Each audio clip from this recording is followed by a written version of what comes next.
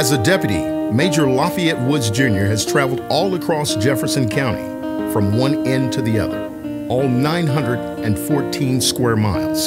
He loves Jefferson County and its people, visiting townships and cities some folks may overlook. As your next Jefferson County Sheriff, Woods doesn't need on the job training. He's already working. In the department for more than 13 years, he knows and understands our county. He does the job. On May 22nd, vote Major Lafayette Woods Jr. as your next Jefferson County Sheriff. Lafayette Woods Jr., right time, right reason, the right choice.